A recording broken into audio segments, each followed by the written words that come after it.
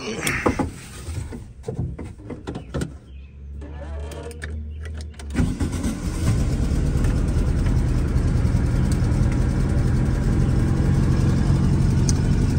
up guys? We're back with another video.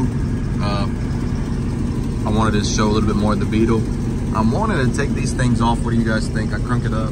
Uh, I, if I don't take them off, I need to get one more of those. But I really don't like the style of those. And plus, I need to fix some things on the inside, as you can tell there. And in the back, there is green carpet instead of black, which up here has some black. And um, I don't know.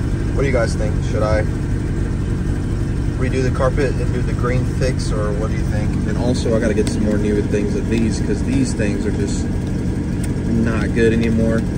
Probably from all the sun it's been beating on it over the time. Reason the light is on is because that is not plugged up. The oil pressure is not plugged up because it is missing in the back. I'll show you the back in a minute. Also the dash is missing the cover piece. But uh, what do you guys think?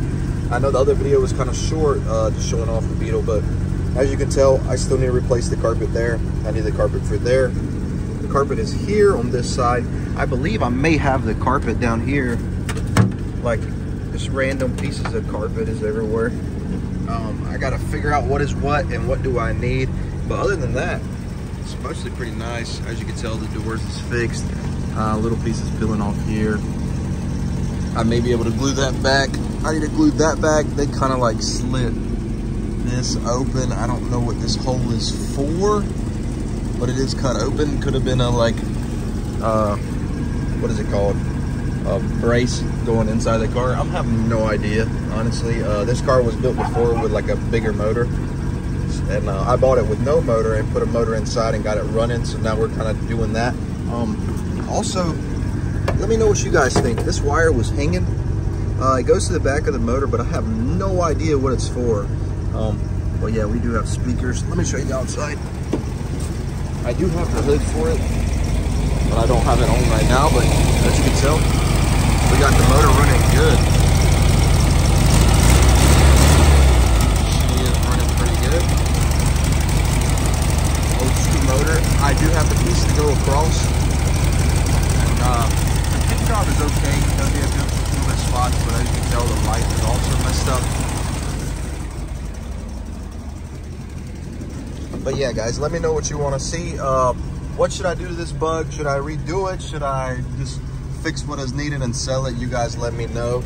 Um, there's the back seat. As you can tell, I don't. I'm not a fan of the green carpet, and that looks kind of like rigged up or needs to be glued back. So we're gonna fix all that. Um, that's how I bought it. I really didn't look at it too much when I bought it. I didn't see the green carpet and stuff. It was kind of like a get it now or miss it type of thing. There was too many people on it, so I didn't get to see everything I wanted to see. But uh, yeah, it'll work. If any of you guys have any of these things for sale or have, I've seen a lot of people do the 3D print that uh, replaces these with caps. If you guys have the file, please let me know. I have a 3D printer and I'd love to print it and not have to buy it. But uh, yeah, over there's the hood that goes on the back. And I also have the bracket, let me see, somewhere. Oh, have the spring right there. It runs perfectly good. As you can see, it's running right now. Um, it does have the aftermarket radio upgraded. My other one, if you guys want to see that, let me know. But my other one is fully restored to old school, like how it would have been in the 68 because if you don't know, this is a 1968, as you can tell by the thumbnail. But uh, yeah, guys, we're gonna have fun restoring this one back to how it was. Not really how it was. This I want this one more of an updated, as you can tell by the headlights in the front. It is kind of more new school, but still a beautiful car, and I just want to have it back on the road. So you guys let me know, and if you have anything that I could use or parts, let me know. I wouldn't mind uh, buying from you guys it'd be better, you know, to buy from you guys than eBay or something like that. Uh, you might get a better deal and sell some stuff you don't need. But yeah, guys, that's pretty much it. And until next time, peace and stay tuned for more Volkswagen updates.